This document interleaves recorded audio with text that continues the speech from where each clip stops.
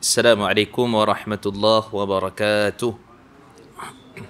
إن الحمد لله نحمده ونستعينه ونستغفره ونعوذ بالله من شرور أنفسنا ومن سيئات أعمالنا. من يهده الله فلا مضل له ومن يضلل فلا هادي له. أشهد أن لا إله إلا الله وحده لا شريك له وأشهد أن محمدا عبده ورسوله. اللهم صل وسلم على محمد وعلى آله وأصحابه ومن تبعهم بإحسان إلى يوم الدين. أما بعد Semuliakan Tuan Imam Barisan Ahli Jawatan Kuasa Surau kita ni Hadirin muslimin muslimat yang dirahmati Allah Subhanahu Wa Taala. Asalnya hari Ahad uh, minggu kedua dan kemudian minggu ketiga minggu lepas. Jadi hari ni kita kira gantilah untuk yang Ahad minggu kedua tu. Uh, jadi ada ada ruang ada masa tu jadi insya-Allah kita ganti balik pada hari ni sebab demam kan. Baik. Jadi hari ni kita pergi kepada masih lagi tentang kitab kita tentang sirah 40 sirah yang daif ataupun palsu yang masyhur dan hari ini kita nak berbincang tentang kisah yang ke-10. Kalau minggu lepas kita berbincang tentang uh, beberapa perkara yang berkaitan dengan uh, sirah baginda Nabi sallallahu alaihi wasallam tapi kita kata uh, kisah Yahudi dengan limau kan. Jadi kita kata cerita itu kisah itu tidak sahih dan bahkan palsu lah dusta ke atas nama baginda Nabi sallallahu alaihi wasallam. Baik yang ke-10 satu lagi kisah yang menarik dan banyak pengajaran, banyak isu fiqah juga yang mungkin kita boleh ambil daripada ini. Isu berkenaan dengan jual beli kucing, isu orang kata kucing ni asalnya bulu kucing ni najis, betul ke? Ada tak dalil dan hujahnya kalau kucing minum air ha, yang bertakung dan sebagainya dikategorikan sebagai sebagai najis, betul ke? Ataupun ada hujah-hujah yang berkaitan dan kemudian kita tengok juga ada sahabat yang suka dengan kucing Abu Hurairah kita mungkin bincang sikit lah. Dan kemudian juga beberapa isu berkait dengan uh, berkait dengan haiwan ataupun berkait dengan bunyi-bunyian. Sebab dalam ni cerita ni nanti kisah uh, kucing tu dia berbunyi dia mengiau ketika mana azan. Ha, kan? Ketika mana azan. Dan bila azan tu maka menunjukkan bahawa kucing tu seolah macam menyahut azan. Betul ke? Ke ada haiwan lain yang berbunyi nampak malaikat ke kan? Ataupun haiwan lain yang berbunyi nampak syaitan ke dan sebagainya ada tak riwayat-riwayat berkaitan? Insyaallah kita bincang malam itulah secara ringkas. Kira habis dah? Kira habis dah kuliah kita? Okey. Eh, jadi itulah secara ringkas benda yang kita nak bincang pada malam ni. Kita detailkan insyaallah. Baik kita baca dulu secara ringkas. Kisah yang ke-10 kisah kucing Nabi SAW bernama Muizzah yang tidur di atas jubah baginda. Ha, biasa kita dengar dalam riwayat sebut di atas sejadah ada riwayat sebut di atas ridak ataupun Nabi SAW punya selendang ada berbagai cerita dan kisah. Ya, kalau kita cari memang jumpa lah. Tetapi kita nak tengok tentang isu ni Nabi Muhammad SAW dikatakan memiliki seekor kucing yang diberi nama Muizzah ataupun Muizzah. Satu ketika Nabi SAW hendak mengambil jubahnya namun kucing tersebut iaitulah bernama Muizzah sedang terlelap tidur sedang tidur dengan nyenyak di atas jubah baginda tanpa mengganggu haiwan kesayangan itu Nabi SAW pun memotong belahan lengan yang ditiruri Muizzah daripada jubahnya. Ha, dalam cerita lain kita dengar selendang dalam cerita lain kita dengar sejadah. Ha, kan sejadah Nabi. Ini biasa daripada kecil biasa kita dengar. Saya kecil-kecil tu selalu dengar sebagai satu cerita oh sayang betul Nabi dekat kucing kan? Ha, jadi itu kita nak tengok dia punya riwayat dia. Baik Ketika Nabi kembali ke rumah, Muizzah terbangun dan menunduk sujud kepada tuannya, kepada baginda Nabi SAW. Sebagai balasan, Nabi SAW memperlihatkan kasih sayang dengan mengusap lembut ke badan kucing itu sebanyak tiga kali. Datang mana tahu riwayat ni? Kita baca dulu lah. Pada waktu lain, setiap kali baginda Nabi SAW menerima tetamu di rumahnya, Nabi SAW selalu menggendong Muizzah lalu diletakkan di paha baginda. Salah satu sifat Muizzah yang Nabi SAW sukai ialah Muizzah selalu berbunyi ketika mendengar azan. Suaranya terdengar seolah-olah mengikuti lantunan suara azan. Kepada para sahabatnya Nabi SAW berpesan supaya menyayangi kucing peliharaan seperti menyayangi keluarga sendiri. Okey, kita tengok apa itu secara ringkas lah cerita dan kisahnya. Dan cerita reka ni macam-macam versi lah. Ha, cerita rekaan ni macam-macam versi seperti mana kita sebutkan tadi. Tetapi kita tengok pandangan para ulama mengenai riwayat ini. Baik, kisah ini sangat menarik Betapa seorang sehebat baginda Nabi SAW pun menyayangi kucing sedemikian rupa. Namun kisah tentang kucing peliharaan Nabi SAW ini tidak disebutkan sama sekali dalam kitab-kitab hadis maupun kitab yang selainnya. Syekh Abdul Rahman Faqih menyatakan kisah ini palsu. Ha, eh, saya kutip ni daripada Multaqa Ahlul Hadis, Perhimpunan Ulama-Ulama Hadis. Mereka ada website sendiri.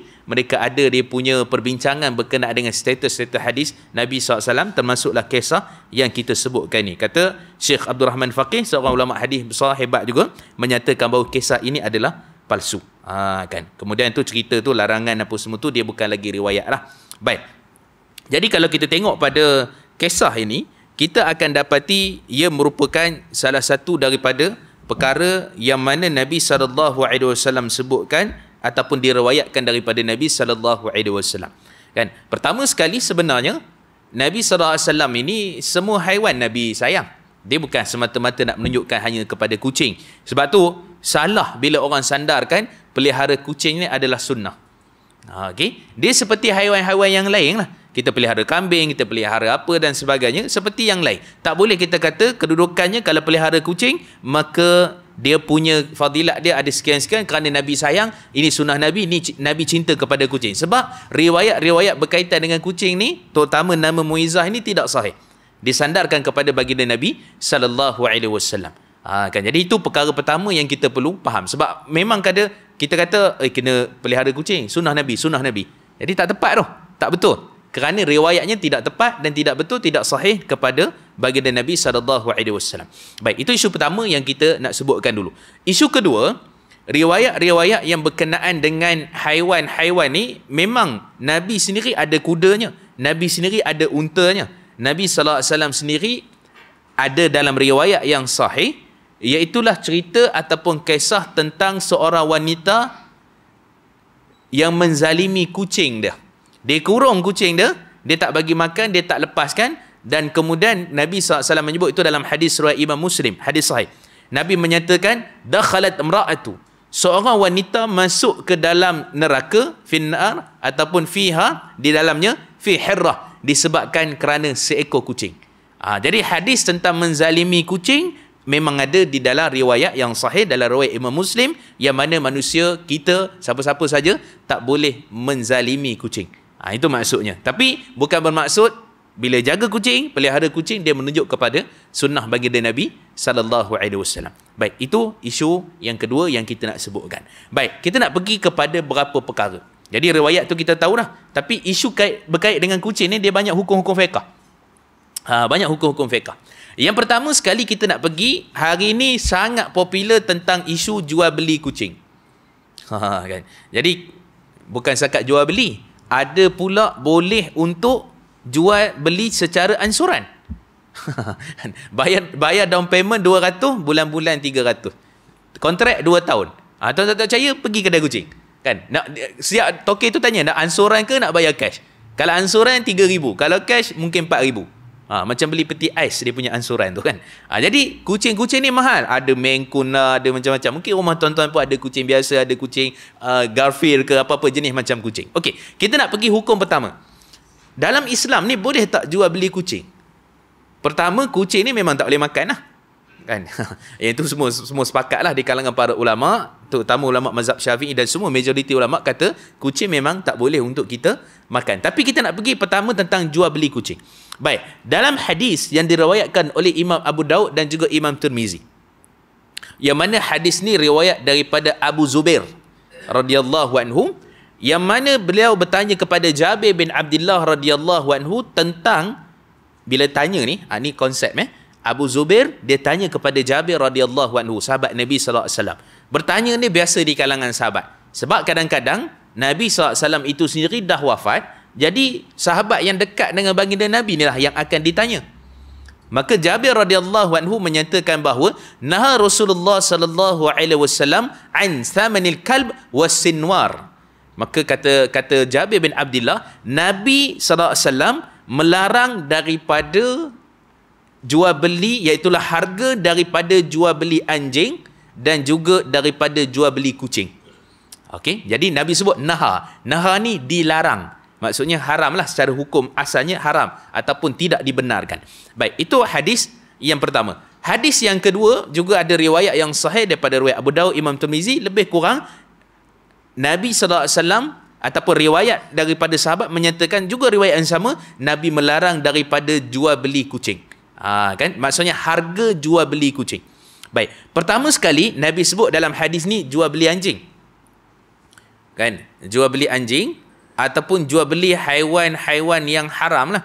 Ha, kan? Sebab tu kalau kita tengok ada setengah orang ni dia kata kita memang tak boleh makan tapi jual tu tak ada masalah. Tembak khinzir contohnya.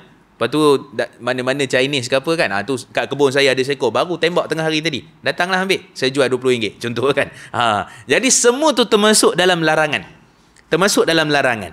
Sebab tu dalam hadis yang sahih juga dalam riwayat yang lain Nabi SAW menyebut inna qatal al yahud wan nasar qatal al yahud inna Allah har idza hurrima syai fa akalu uh, apa ni Nabi SAW menyatakan Allah dalam riwayat Imam Bukhari hadis sahih Allah Subhanahu wa taala menghapuskan orang-orang Yahudi.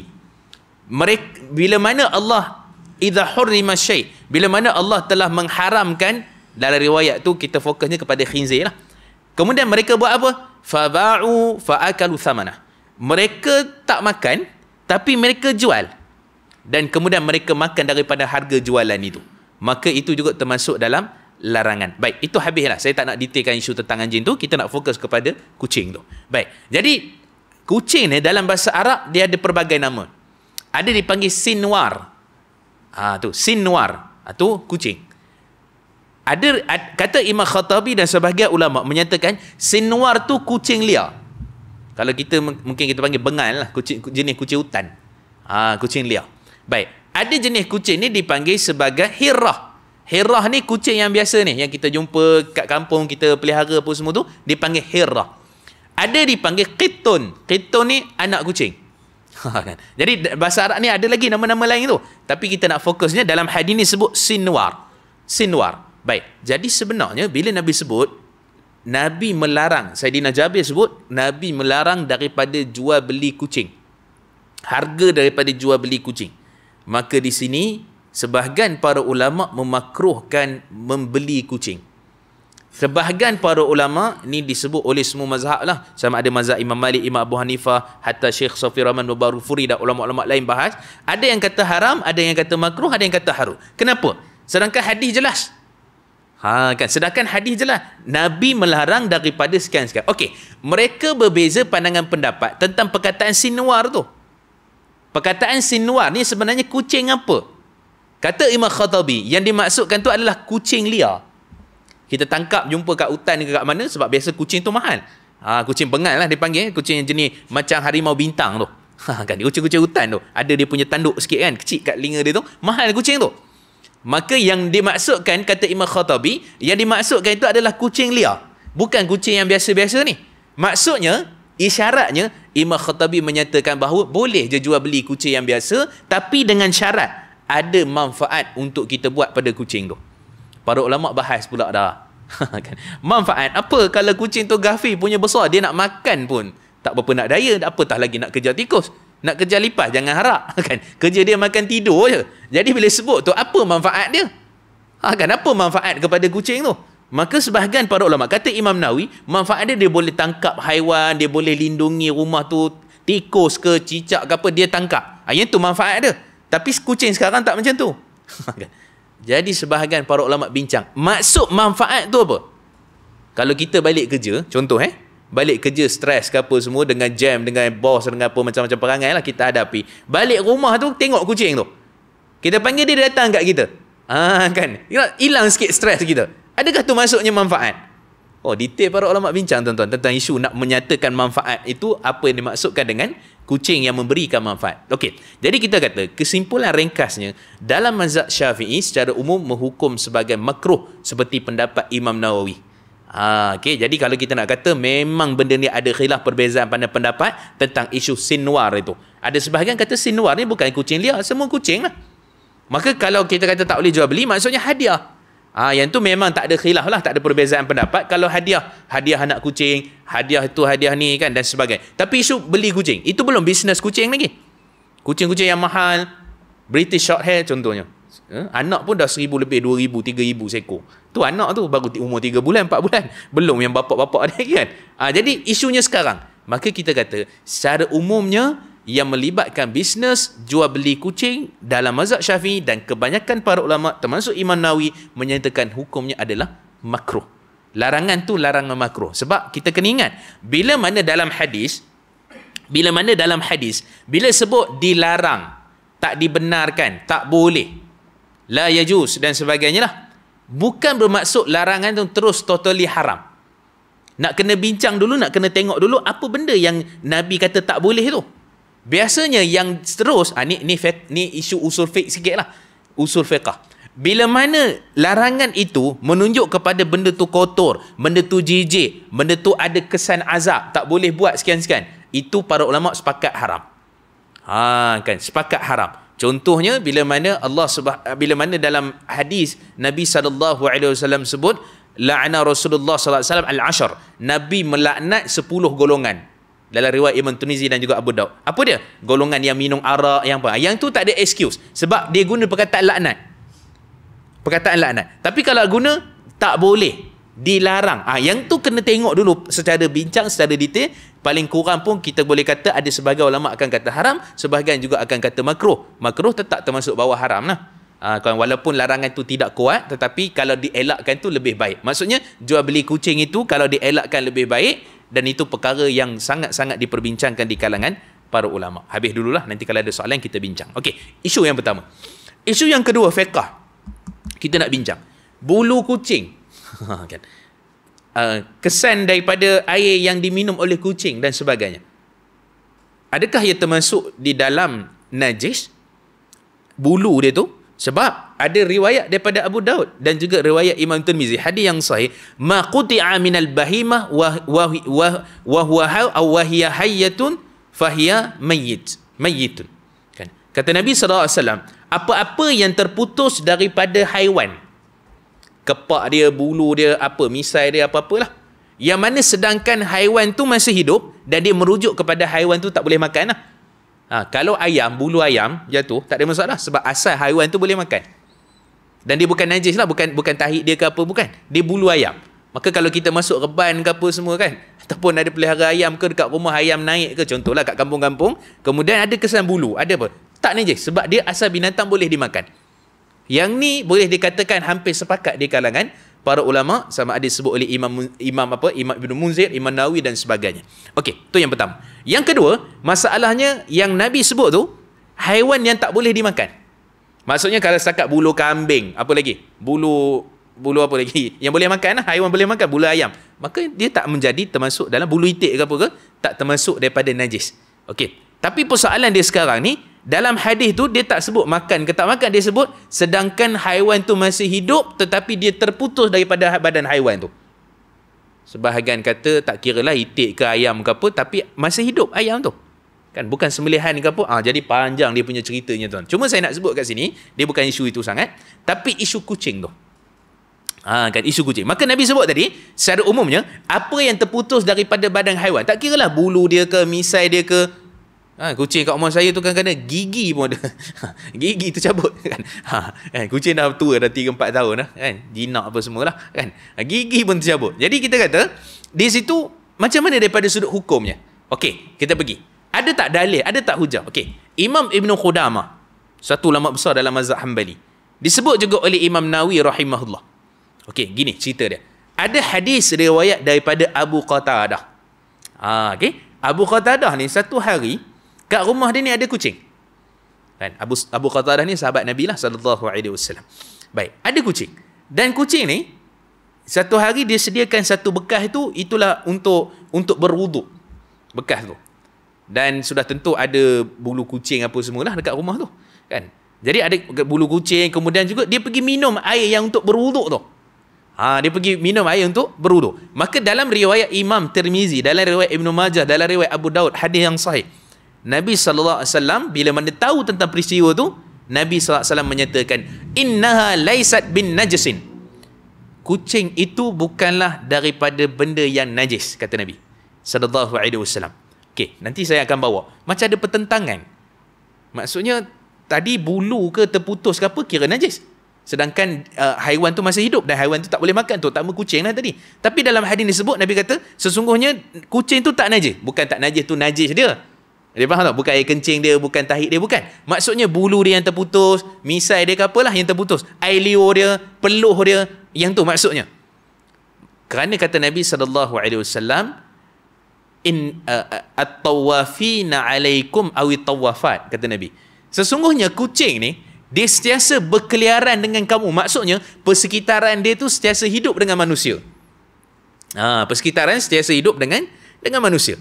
Maka pada waktu tu kata Nabi SAW, kucing itu tidak najis. Maka mazhab syafi'i dia buat satu kaedah. Ha, kan, kaedahnya ialah al-masyaqqah tajlibut taisir. Kesukaran, kepayahan itu mestilah dipermudahkan. Ha, maksudnya gini, daripada hadis tu kita dapat tahu Maksudnya apa saja bulu yang ada, bulu kucing sedikit ke banyak ke dan sebagainya, selagi mana dia bukan muntah kucing, bukan tahik kucing, bukan air kecing kucing dan sebagainya, sama ada dia bulu, sama ada dia lenderan, sama ada kesan air yang dia minum, maka semua tu termasuk dalam suci dan bersih. Berdasarkan hadis tadi. Ha, berdasarkan hadis tadi. Maka disebabkan itu, mazhab syafi'i menyatakan kucing ni, dia special case.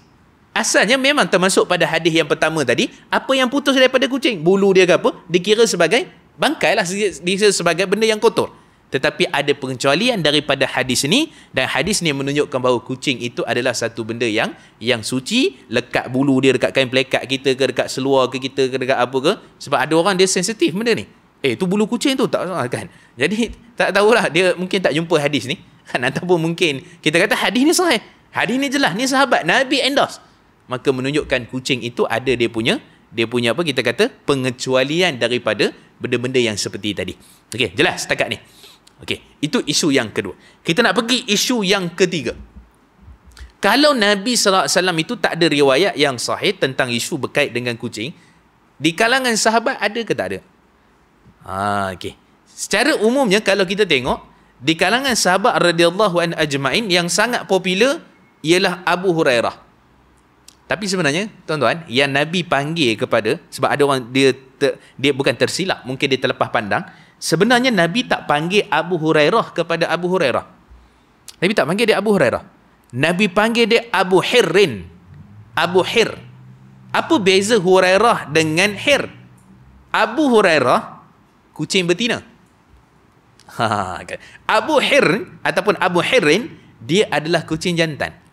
Maka dalam riwayat Al-Hakim, diceritakan ini dalam dalam Mustadrak Al-Hakim kitab hadis lah menceritakan Abu Hurairah radhiyallahu anhu ni sebelum tu Abu Hurairah ni dia ada lebih pada 30 nama yang masyhur di kalangan ulama-ulama hadis ada yang panggil dia Abdullah ada yang panggil dia Abdul Rahman ada yang panggil dia Abu Hurairah ada pelbagai nama lebih pada 30 kan antara sebabnya puncanya ialah kerana gelaran dia tu ada setengah orang panggil lain ada setengah orang panggil lain Ha, itu punca jadi banyak. Itu satu keadaan lah. Yang kedua pula, kerana mereka bersisih pandangan pendapat tentang apa nama sebenar Abu Hurairah.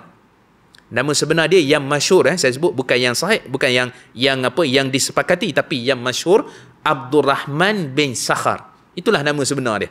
Yang nama Abu Hurairah tu. Ha kan. Okey. Jadi diriwayatkan daripada Al-Hakim dalam Mustadrak dia, Abu Hurairah ni dia suka mengembala kambing.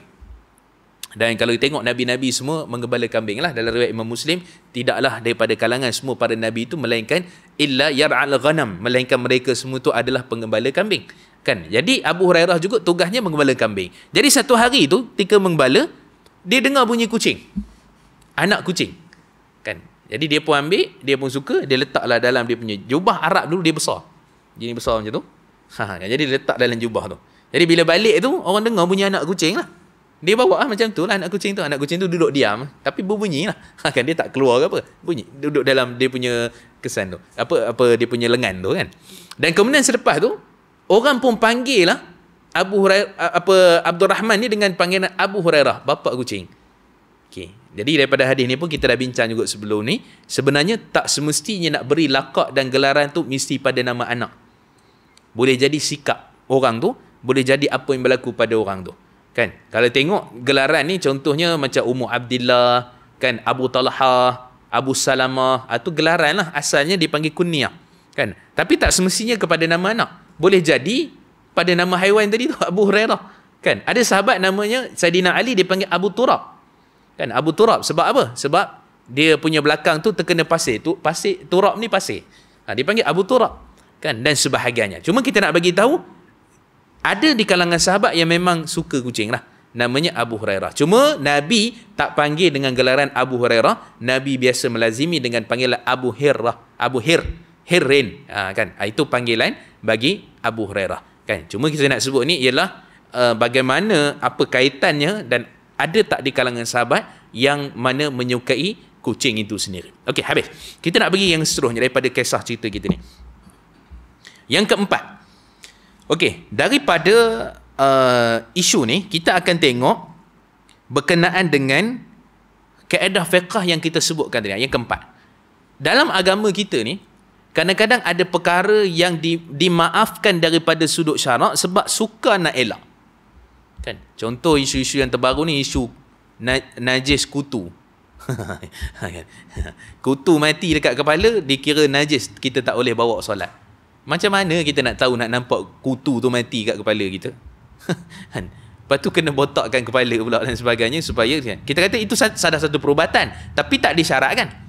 Tak disyaratkan. Ha, memang ada dalam riwayat Imam Muslim ketika mana ada satu orang sahabat dia mengerjakan haji kan dalam haji ni dia tak boleh cabut ataupun tak boleh ni lah gunting rambut ke apa tak boleh sebab dia belum tahlul.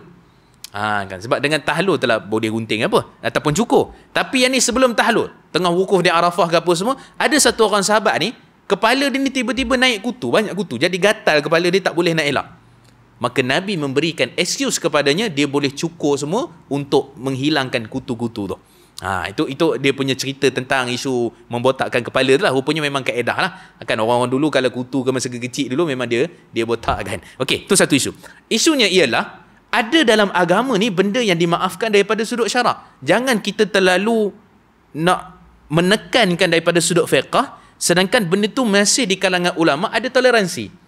Isu kutu tadilah. Imam Ibn Qafal. Ibn Qafal ni ulama besar. Asyashi dan sebahagian ulama lain dalam mazhab Syafi'i menyatakan isu berkait dengan kutu ni dia antara benda yang sukar untuk dielakkan dan benda tu kecil kan? bukan besar kan? Benda tu tak apa nampak. Kalau mati pun kita kena tak perasan adakah menunjukkan bahawa kita benda tak nampak benda tak benda tak jelas apa semua? Menunjukkan salat kita tak sah dan kita menanggung najis Ha, sebab tu dalam isu berkait dengan fiqah ni kita bukan nak popular tapi kita nak daripada sudut bagaimana penyelesaian yang sebenar di kalangan para ulama fiqah. Maka benda-benda yang sukar untuk dielakkan, dimaafkan, maka benda tu daripada sudut fiqah dia dimaafkan.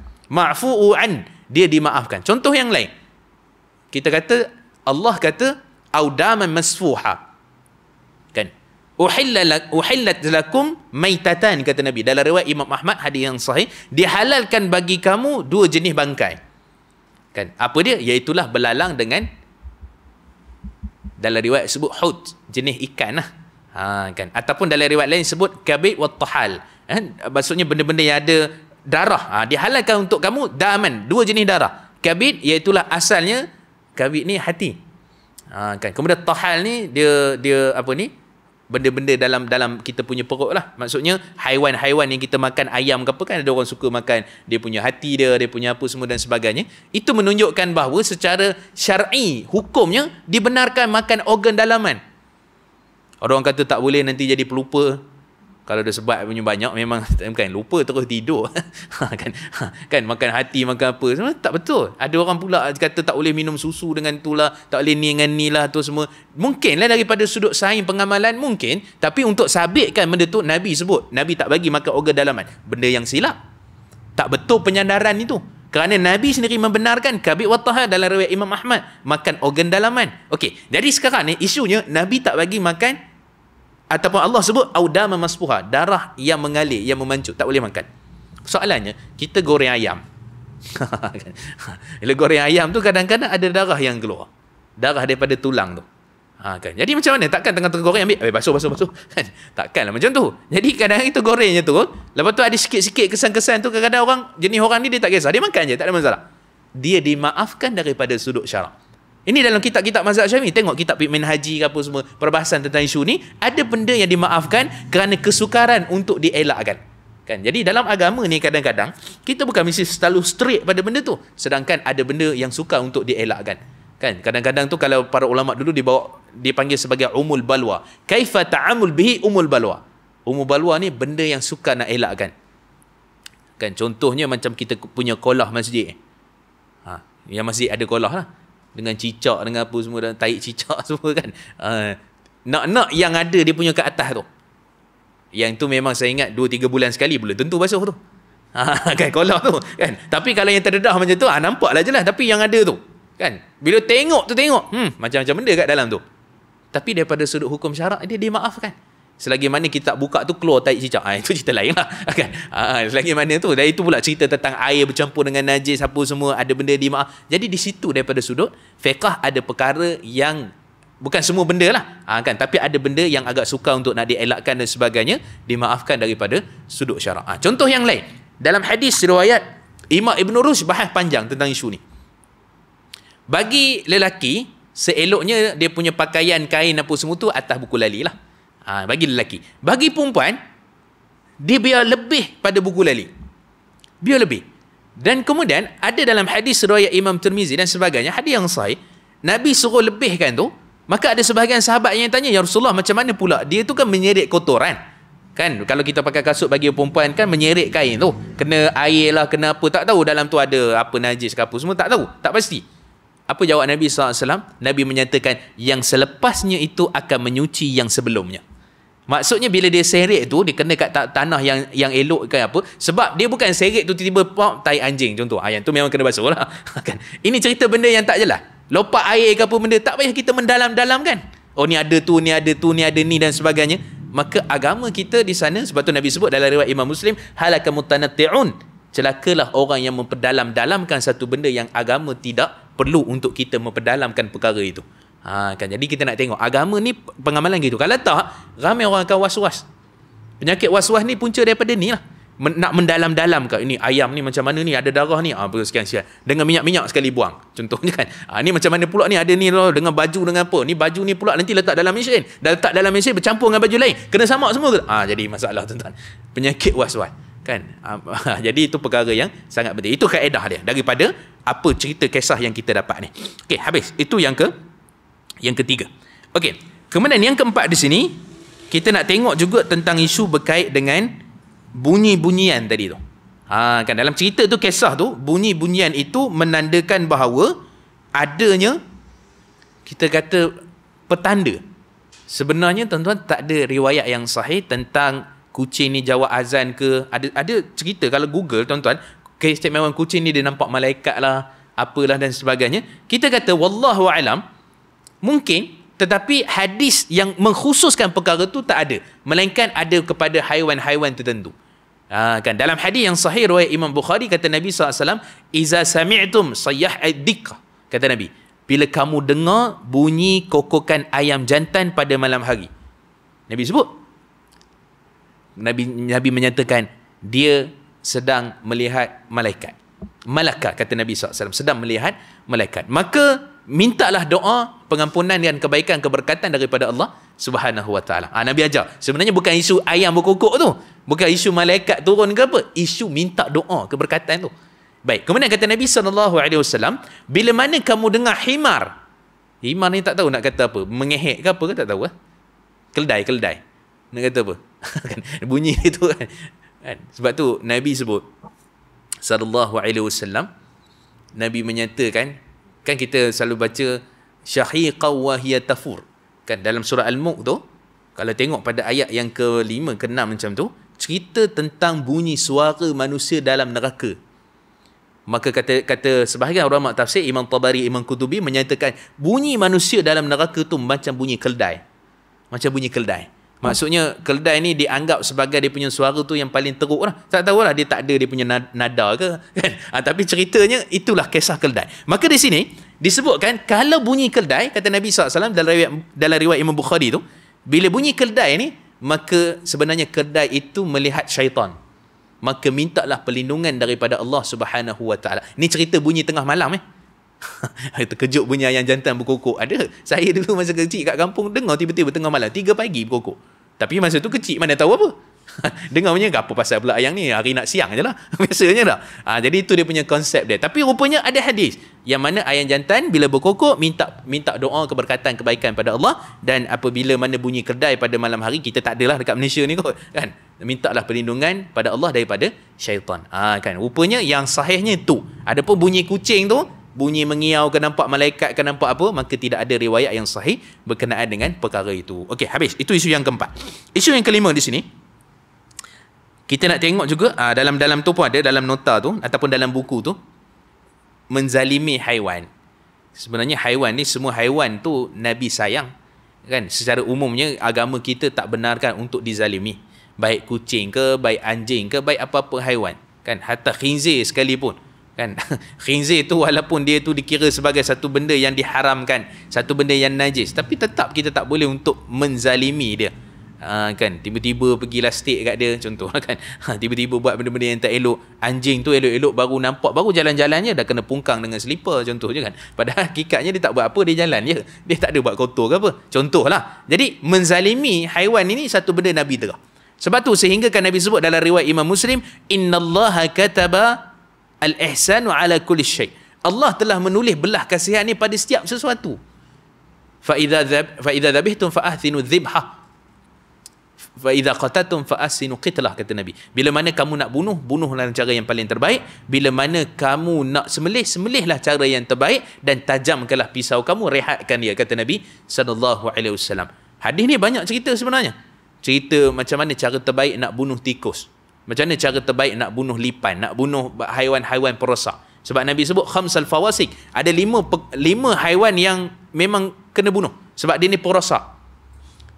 Kala jengking helang ha, kan? Ha, termasuklah juga haiwan-haiwan perosak macam tikus kan? Cicak contohnya juga kan? Cicak ni betul ke dia yang tiup apa apa yang api Nabi Ibrahim? Sebab kita disunahkan untuk membunuh cicak kerana cicak ini dia yang meniup. Ayah cicak. Ha, ha? cicak tu yang mana? Meniupkan. Yang kata tu Firaun. Ha, yang kata tu dalam dalam Quran Allah sebut difdah maksudnya tentera-tentera yang menghancur antara tentera kecil. Dia ada serangga ada apa semua tu antaranya adalah belalang dan termasuk juga katak yang mana menyerang Firaun. Kan? Jadi Nabi SAW sebenarnya memang ada hadis sahih lah. Dalam riwayat Imam Muslim antara sebab kenapa kita disunahkan membunuh cicak ni adalah kerana dia meniup membesarkan Nabi Nabi Ibrahim AS kan? Tapi sebab tu kata Nabi Ibrahim uh, kuni ya nar kuni barda wasalama Wahai api, jadikan aku untuk api yang sejuk dan selamat. Kan cicaklah yang meniupnya. Kan tapi yang kisah cicak dalam gua yang berbunyi ketika mana Nabi berhijrah atau nanti riwayat lain kita bincang. Ha okey. Okey. Jadi maksudnya kat sini ialah haiwan ataupun benda-benda ni kita tak boleh zalimi hatta haiwan tu kalau haiwan yang tak elok kita nak bunuh tu bunuh cara paling terbaik. Tikus contohnya. Kita pangkap tikus. Macam mana cara paling bunuh paling terbaik? Ada yang guna tangkap tu guna macam jebak kan. Yang dia tangkap tu dia dapat tapi dia tak mati. Macam mana caranya? Tak tahulah nak air panas ke, nak pungkang ke, kan? nak baling ke, nak apa ke. Tapi larangan Nabi, Nabi tak bagi bakar. Nabi tak bagi bakar. Lebah ke apa benda semua, Nabi tak bakar. Dan apa Nabi tak benarkan untuk bakar. Bahkan ada dalam riwayat Imam Muslim, ada seorang Nabi yang diutuskan, dia bakar sarang semua. Maka yang tu ada dalam rekod hadis Nabi SAW yang sahih. Kan, nak menunjukkan bakar ni tak boleh. Tapi perasap untuk lebah tu lari nak ambil madu itu ha, cerita lain. Ha, kan beza tu perasak mengasapkan dia dengan membakar sarang dia benda yang berbeza. Ha, kan jadi membakar ni Nabi tak benarkan. Jadi macam mana cara dia? Nabi kata bila kamu nak bunuh satu haiwan, maksudnya haiwan ni haiwan perosak sekalipun, bunuh dengan cara yang paling terbaik. Ha, macam mana kita nak fikirkan? Dengan air panas ke dengan apa tak tahu. Dia ceritanya cepat mati tak menyeksakan dia.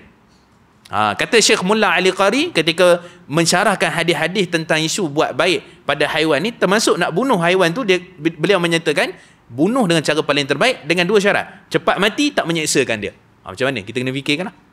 Nak bunuh haiwan-haiwan yang macam tu. Kan kalau lipan kalau jengkir tu ketuk sekali settle lah kan? Ha, tapi benda-benda lain kan ular hitam contohnya. Ha, tu pun sebut dalam hadis Nabi. Hatta di kita tengah ihram pun kalau benda-benda ni ada kita tak dikira sebagai untuk membayar dam ataupun denda yang tak boleh tu berburu. Kan tangkap dhab ke contohnya kan. You know, kambing gurun ke apa ke tengah wukuf di Arafah jumpa kambing kan. Ha, yang tu memang termasuk dalam dam yang perlu dibayar.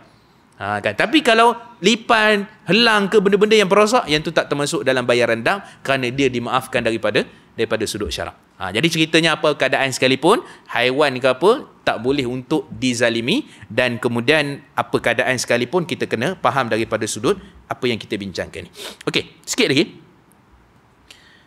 Okey, daripada kisah ni juga kita akan dapat uh, boleh ke pelihara haiwan-haiwan yang lain? Ada orang suka pelihara burung terkukur. Ha kan? Ha, burung apa lagi? Kalau di kampung-kampung biasa banyak gitu. Kampung saya pun banyak lagi. Ha, kan maksudnya pelihara burung terkukur, burung apa lagi tu yang kecil sikit tu? Ah ha, selindik.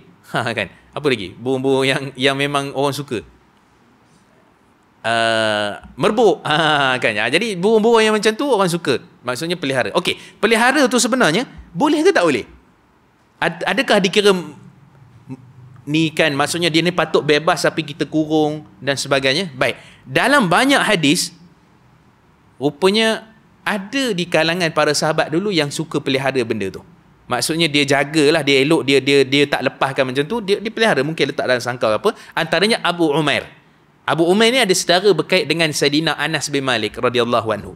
Kan dalam hadis riwayat daripada Imam Bukhari, Nabi SAW berbual dengan dia. Maza fa'alan nughair? Apa yang burung kecil tu buat? Dia kata, Ya Rasulullah, burung tu dah mati.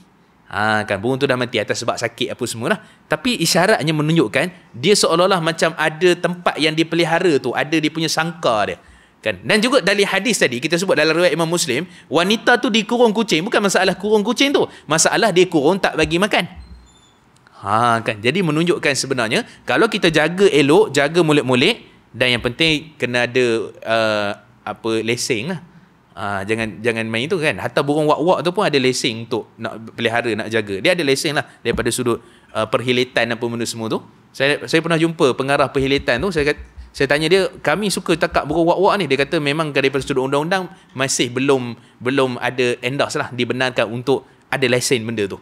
Kan maksud tak boleh pelihara lah burung wak-wak ni hitam tu yang biasa bunyi tu kan. Ha, makan sedap tu. ha, tapi daripada sudut kita jaga dia tu. Tu belum lagi burung murai batu lah, burung benda pelik-pelik dan sebagainya.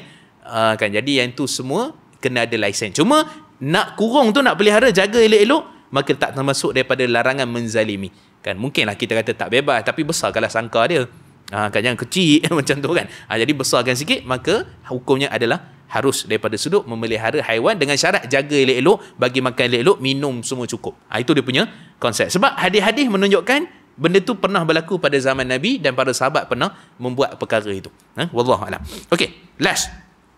Kita nak tengok juga tentang isu uh, kucing jiran. Buat kotor dekat kita punya ni kan dan sebagainya. Sebenarnya dia bukan isu ha, itulah. Bila kita kita letak kucing tu kan sunnah sunnah nabi. Tak payahlah nak ni bising-bising sangat. Biasalah tu najis sikit kencing sikit tu. Bukan salah kucing tu. Salah jiran tu. Kan? Dia yang dia kucing dia dia lepaskan. Lepas tu pergi kencing memancut apa semua kat kereta orang dekat apa berak kat sebelah rumah jiran. Dia sebenarnya dia memang tak ada akal. Tapi tak boleh kita kata Allah sikit aje kucing tu kan sunnah nabi. Ha, itu yang masalah dia dia sandarkan macam tu. Ha, kan? Kucing tu kan nabi sayang nabi suka. Kalau cakap berak sikit tu bersihkan je lah. Dia bukan isu berak ke isu apa. Isunya sebenarnya kita berkait dengan jiran kita. Isu jiran tu sebenarnya. Kan? Jadi kalau kita ada kucing ke apa pelihara elok-elok tu kat rumah ke apa okeylah tak dan sangka ke apa. Kan? Tapi kalau sampai kita baunya busuknya pergi berak kat rumah jiran kita masalah sebenarnya. Sebab tu kalau daripada sudut undang-undang ada dia punya peruntukan undang-undang kalau ada haiwan ataupun kucing ke apa terutamanya dia ada akta tertentu yang boleh report dan boleh didenda sehingga seribu ringgit jiran sebelah kita tu ha, itu kalau marah sangat tu ha, tapi dia bukan cerita isu marah tu. Isu jangan pemainkan sentimen kucing tu sunnah Nabi sayang sebab tu kita lepaskan biar berak sikit pun tak apa dah. Dia isu jiran. Ha, memelihara kita punya kejiranan dan sebagainya itu juga antara satu perkara yang sangat penting. Wallahualam dah masuk isyak dah kan. Ha, jadi kita nanti kita sambung lagi. Ada persoalan tuan-tuan setakat ni? Tentang isu kita bincang ni. Inilah kurang-kurang beberapa isu yang kita dapat daripada kisah ni dan kita sebut tadi kisah ni memang tak sahih lah tentang kucing Nabi, Nabi apa di atas jadah Nabi ataupun di atas jubah Nabi, Nabi gunting pun semua tu kucing Nabi Nabi Muizzah dan sebagainya, maka itu tak termasuk dalam hadis ataupun cerita yang benar. Wallahu alam. Ada persoalan? Tak ada? Tak ada isu eh? Jelas eh? Okey, kalau tak ada kita berhenti dululah kat sini insya-Allah. Jadi nanti kita sambung lagi pada bulan depan insya-Allah kita sambung pada sirah-sirah yang keseterusnya kita bincangkan.